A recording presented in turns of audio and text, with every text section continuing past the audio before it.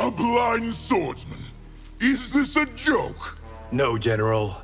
It is deadly serious. An Earthrealm cripple challenges me. My blindness is no handicap, Reiko.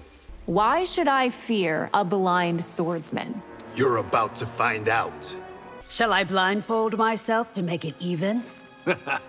Why give yourself another disadvantage? You can fight me without sight? With Sento, I can.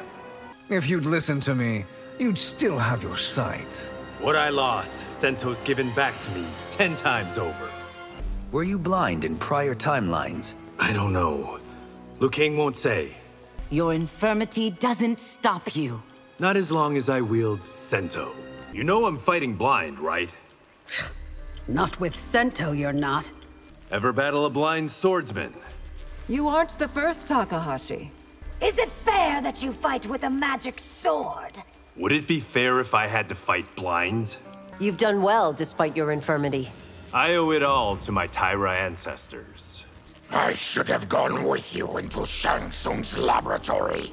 That wouldn't have saved my sight, Baraka. If you have no magic, you have no chance. Then it's a good thing I have Sento.